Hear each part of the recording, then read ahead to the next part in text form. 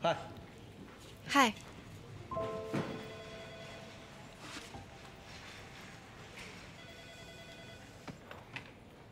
你觉得大家被你的愿景说服了？我觉得他们都在观望。如果你把柯东签下来，那就什么事儿都没有；但如果你签不下，这件事情不讨论了。你还对什么有看法？秘书，以前高级合伙人都配有秘书，现在律所明确规定，秘书的费用由团队承担。那团队肯定会砍掉秘书，然后就会由实习生和助理兼秘书做以前秘书做的工作。这件事情是会上定的，你当时在场，你为什么不反对？当时在开会，我不想当着大家的面跟你唱反调。那以后会上不说的，会后也不要说。罗宾，你膨胀了，别人的意见你听不进去了。如果我当了主任，还事事都要听别人的，那为什么让我来做主任？由别人来做好了。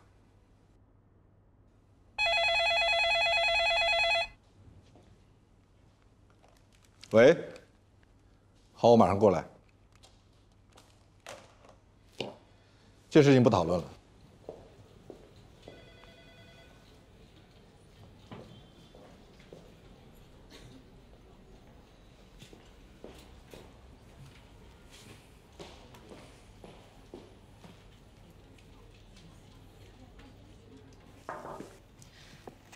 焦恩问你今天有没有时间打场球？今天吗？几点钟？下午先打球，然后一起共进晚餐。我觉得他是有重要的事情想当面跟你说，但是又不想太正式。好啊，没问题。你跟他说，我随时都可以。那你打球的装备？我车里就有。谢谢。我这就跟他说。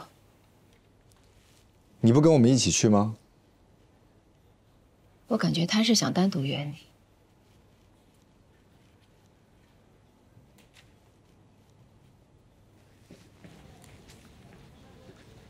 你把我今天后面的事情全部都推掉。啊！我不知道你后面安排了什么事情。你问丽娜，她知道。哦，好。然后把这个给她，我不需要了。嗯。嗨，焦恩。杨帆跟我说了，我没问题。那你什么时候可以出门？我都可以，看你。好，没问题。那我们晚会儿见。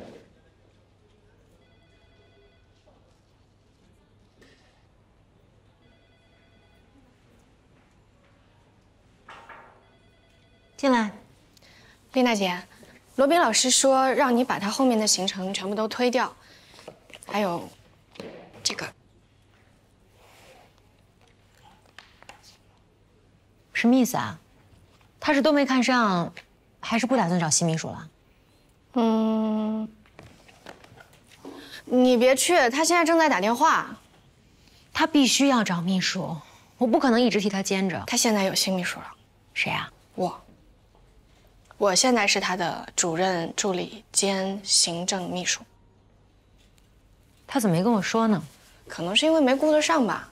算了，我也不跟他生这个气。人在家中坐，祸从天上来。艾丽娜姐，这事儿很严重吗？严重，当然严重。能有多严重啊？说到底，这个案子是赵旭老师两年之前做的，那个时候罗老师他还没有成为主任呢。那不管，是在他当主任的时候爆出来的。别人会说，怎么别人当主任的时候没事儿，你一来就有事儿？你俩是不是吵架了？我刚刚坐在没有跟他吵架。我是在跟他说，如果他一上任就要赔出一千万的话，那必然难以服众。他跟我说，一白遮百丑，只要能把柯东签下来，别人就不会说什么。哎，你待会儿也去劝劝他，万一这个柯东签不下来呢？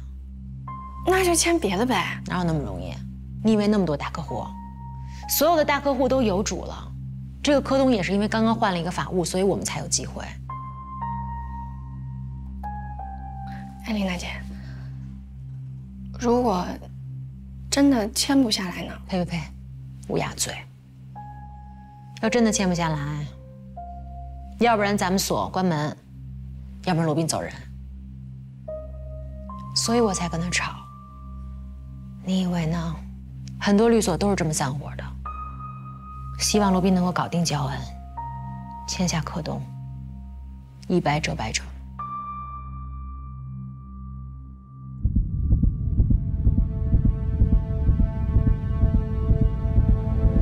怎么了？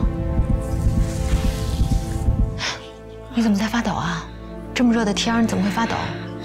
没有，没事儿。是不是生病了？没有，丽娜姐，我没什么事儿。嗯，我东西已经给你了，我就先走了。